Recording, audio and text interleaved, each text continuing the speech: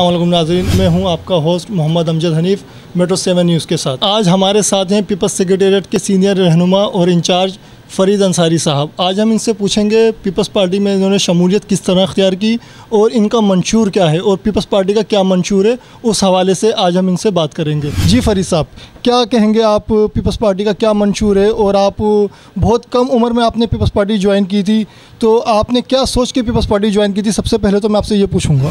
Peoples party जो है ना, वो एक सियासी पार्टी नहीं है। पीपल्स पार्टी एक सोच का नाम है और पीपल्स पार्टी की नज़रिया है। तो ज़ाहिर बात है, जब मैं पीपल्स पार्टी में आया तो उस वक्त ना सोचता ना नज़रिया था, मैं स्कूल में पढ़ता था। मैं सात सातवीं या आठवीं का स्टूडेंट था। तो मैं ये समझता हूँ कि शमूलियत मैंने इससे की कि जुल्फ़ार अली भुट्टो की जो शख्सियत थी, वो इतनी करिश्मा वाली थी कि वो अटैक करती थी। क्योंकि ये बातें तो हमको जब बाद में पता चली कि वो तो बड़े बड़े काम कर गया। बड़े मुश्किल से पैदा होता है, चमन में दीदा। बड़े बड़े काम कर गया। आज मेरा पाकिस्तान, आज मेरी पाक फौज अगर इंडिया के आँखों में आके दाल बात बात करती है, उनकी फौजियों से या उनके जो जासूस है, उनको जो सबक सिखाती है, वो जुल्फ़ार अली भुट्टो का सबम है। कि हम बहुत छोटे हैं इंडिया के आगे, बहुत छोटी आबादी हमारी, लेकिन हम को इतनी कुत दे गया अल्लाह के बाद भुट्टो इस पाक फौज को और मेरे मुल्क को कि मेरा मुल्क और इंडिया जैसी ालिम और ऐसी ऐसी क्यादत वहाँ जो जुल्म का अपना एक, एक, एक मिसाल रखती है। तो ये भुट्टो फिर आते आते जब मैं स्कूल में पढ़ा था तो पीपल सेक्रेटरी मेरे जो अभी आप बैठे के बराबर वाला बंगला था तो भुट्टो साहब का दौर था तो मैं आके बैठता था मैं सीखता था। अपने पार्टी के रहनुमा से हफीज़ फिजारा साहब उस वक्त थे अब्दुल सत्तार गबोर साहब थे तो इन लोगों से मैं सीखता था और मैंने ये फैसला किया कि अब मैं अगर सियासत करूँगा, मैं तो साइंस का स्टूडेंट था, मेरे माँ बाप ने तो मेरे को साइंस का सब्जेक्ट दिलवाया था। लेकिन मैं बहुत इम्प्रेस हुआ, पार्टी से, पार्टी की क्यादत जो उस वक्त भुट्टो साहब के ज़माने में थी, कराची को लोकल क्यादत तो मैं सीखता था उनसे। और आस्ते आस्ते आस्ते फिर तीन, चार साल में हुकूमत भी चली गई। फिर पता चला कि अब जद्दोजहद क्या होती है।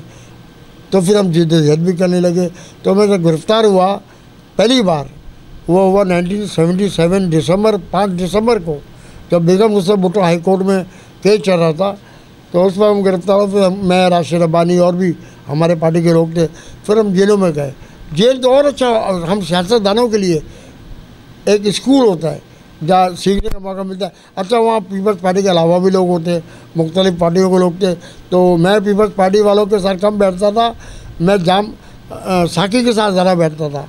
अब्दुल हमीद जतो के साथ ज़्यादा बैठता था, रशीद बख्श पलेजो के साथ, क्योंकि वो जिए भुट्टो ने मुझे आता था जिए भुट्टो तो हफीज़ फिजरा मुमताज़ भुट्टो सब जेल में थे, लेकिन मुझे जिए भुट्टो नहीं सीखना था, मैं और सीखना चाहता था। तो मैं इन लोग के साथ जाके बैठता था, जो पार्टी के मुखालिफ लोग थे, ताकि मुझे सिखाए सियासत क्या होती है। और अभी तक मेरी आदत है कि पार्टी की जो हिमायत वाले अखबार है, या चैनल है, वो तो मैं देखता हूँ।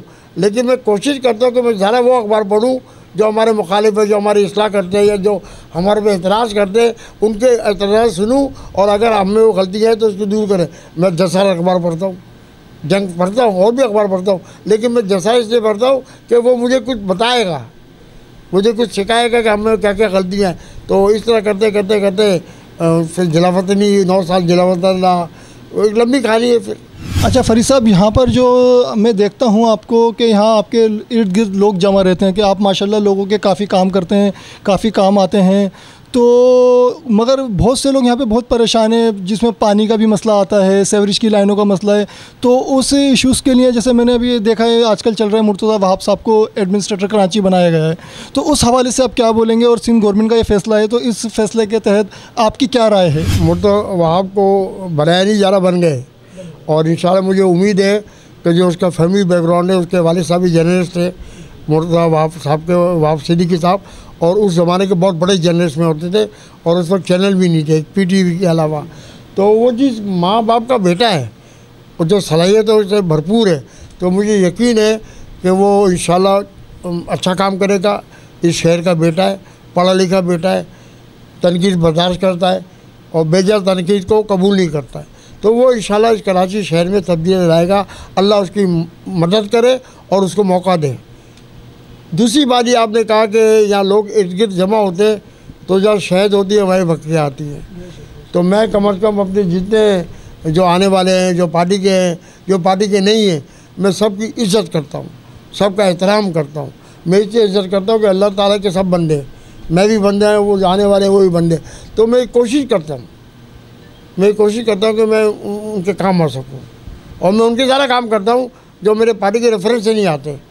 क्योंकि मैंने मौला अली की एक पढ़ी हदीस कि मौला अली ने कहा जब कोई अनजाना आपके पास आए, यानी मेरे पास भी ऐसे शख्स के पास जाए जो मसाइल हल करने का कुदरत रखता हो, सलाहियत रखता हो तो उसके काम को कर दिया करो। अगर उसका काम जायज़ है तो तो साहबी ने पूछा कि मौला आप तो ये क्या बात कर रहे हो? वो नहीं जानते कैसे काम करे। उन्होंने कहा वो उनको नहीं जानते हैं। लेकिन उस शख्स को उस बंदे के पास अल्लाह ने भेजा है। तो अल्लाह को सामने रखते हुए उसका काम करो, क्योंकि अल्लाह ने आपके शक्ल में उसका मददगार तलाश किया है। तो मैं उसी हदीस को रखते हुए मौला अली की मैं इस पर अमल करता हूँ और मैं पीपल्स पार्टी का काम करते हुए तो मुझे खुशी होती है, मेरे पार्टी के लोग हैं। लेकिन मुझे ज़्यादा खुशी उन पर होती है जो पीपल्स पार्टी के नहीं है, चाहे उनका किसी ताल्लुक जमात से हो, चाहे वो किसी मज़हब या किसी फ़िरके से हो, मैं नहीं पूछता तुम मुसलमान हो, हिंदू हो, ईसाई हो, मैं नहीं पूछता तुम सुन्नी हो, शिया हो। मैं कहता हूँ, अपना काम बता और कोशिश करूँगा और मैं आपको यकीन बना जाने आप, कि जब मैं उनके काम करता हूँ ना तो अल्लाह ताला मेरी ऐसी मदद करता है कि उनके काम हो भी जाते हैं। तो ये तो अल्लाह का शुक्र ऐसे लोग आते हैं कि मैं इज़्ज़त भी देता हूँ, मोहब्बत भी करता हूँ। और यहाँ तो दफ्तर में तो आप देखते होंगे घर पे भी लोग आते हैं तो मेरा घर भी हाजिर है। मेरा दफ्तर भी हाजिर है मैं अगर रोड पे भी हूँ और कोई अगर आके मुझे से मदद मांगे और उसकी मदद जायज़ हो तो मैं रोड पे दफ्तर लगा देता हूँ। तो जिस दिन पाकिस्तान में आज़ादा इंतबात कराची से छेतराल तक होंगे, कोयटा से कश्मीर तक होंगे आज़ादाना जिसमें एक वोट की, कोई एक आध वोट तो हो जाता ना, बेचारा गलत टाइम लगा रहता, जिसमें वोट की तोहन हो, नहीं बर्दाश्त करेंगे, जिसमें वोट की इज़्ज़त हो ये नवाज़ शरीफ वाली इज़्ज़त नहीं है। ये पीपल्स पार्टी के वोट आज़ादाना इस मुल्क में डले, पीपल्स पार्टी जीतेगी। और हमारे तो नारे का हिस्सा के वज़ीर अजम बेनजी तो बन गई, लेकिन फिर हम अभी हम कहते हैं, हमारे मुल्क का नौजवान कहता है कि बिलावल भुट्टो वज़ी अजम बिलावल वज़ी अजम तो हमारे तो बिल्कुल ये यकीन है कि आज़ारा इंतखब कराओ। इन बिलावल भुट्टो पाकिस्तान का वज़ी अजम बनेगा। तो उस बारे में आप क्या कहेंगे कि वो मशीनें सही रहेंगी या नहीं रहेंगी? वो मशीनें ऐसी है जैसे इमरान खान की वो सराय मशीन है जो नोट बनाती है। ये मशीन वोट बनाएगी। तो मैं ये समझता हूँ कि इस मशीन को तमाम सियासी पार्टियों ने रिजेक्ट कर दिया है। और मैं समझता हूँ इस पर हमारी पार्टी की सेंट्रल कमेटी और एक कमेटी बनी है अपनी, अपना जो हमारी रहनुमा मरकज़ी, शेरी रहमान, और मुख्तलिफ़ क्यादत है उसमें। और पार्टी की, और भी पार्टी ने उन्हें उसको रिजेक्ट कर दिया है। तो हम हम किसी मशीन को नहीं मानते, ना सिलाई, ना इलेक्शन की मशीन को मानते, हम मानते अवामी मशीन को। और अवामी मशीन मशीन सालों से वोट दे रही है। बल्दियाती इंतबात हो या कौमी सबाई हम उस उस बुनियाद पर इलेक्शन लड़ेंगे और इन उसी मशीन में इमरान खान को सी देंगे उसके मुँह को। आपका पाकिस्तान नहीं है तो हम सब का पाकिस्तान है। ये तेरा पाकिस्तान है, ये मेरा ही पाकिस्तान है। तो ये हम सब का पाकिस्तान है। अल्लाह इसको सलामत रखे, क़्यामत तक और ज़्यादा करोना है। तो करोना के लिए जो एस ओ गवर्नमेंट ने दी है उस पर संजीदगी से अमल करना चाहिए। उस पर बहुत ज़्यादा, अब मैं तो थोड़ा, वो हटा दिया, मैंने थोड़ा कभी कभी पहनता हूँ? क्योंकि मैंने वैक्सीन लगा लिया है और दोनों डोज लगा दिए तो इस पर ख्याल करना चाहिए। इस पर पूरी दुनिया में काफ़ी कीमती जानें ज़ाया हुई हैं। हर जान उस घर के लिए अज़ीज़ है, जिस घर का वो फ़र्ज़ है। बाप है, बेटा है, माँ है मतलब ये जान इतना इतना सस्ता नहीं है। तो उस पर एतबार करे, उस पर ख्याल करे, उस जो गवर्नमेंट एस दे रही है, चाहे वो कोई भी गवर्नमेंट हो, उस पर अमल करे ताकि हमारी नस्लें, आने वाली नस्लें जो है ना, वो महफूज हो सके।